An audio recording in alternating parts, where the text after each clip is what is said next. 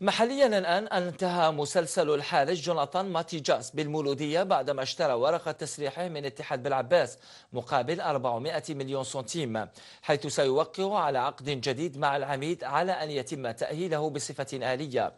وكان ماتيجاس قد وقع على موسمين في مولودية الجزائر وهو مرتبط في اتحاد بالعباس ما جعله مهددا بموسم أبيض قبل أن تحل تحل قضيته.